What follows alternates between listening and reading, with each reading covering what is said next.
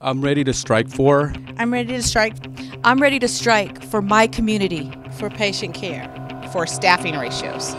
I'm ready to strike for patient safety. I am ready to strike for our first time mothers and our teen pregnant mothers. I'm ready to strike for my family. I'm ready to strike for my fellow nurses.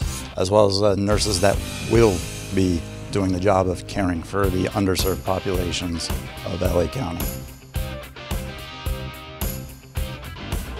Many of us who work in the county, we've lived here all our lives, we love our communities, and we work here because we want to give back to our communities and we want to raise our families here. So it's very important for us to be able to have healthy communities that our children can grow up safe in.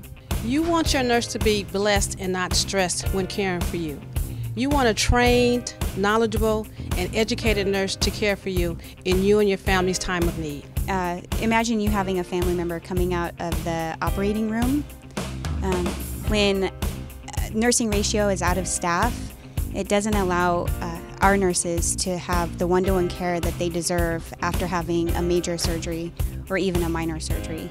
When we're short staffed, that means that we're doing the work of three for one RN, which puts uh, patients in danger.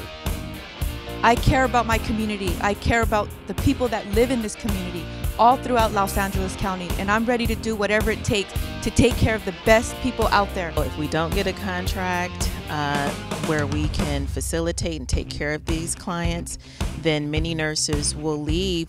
It's time to take control. We have a voice, it matters, and together we can accomplish this for our community, for our people, for our families, for our friends, for our neighbors, for Los Angeles County.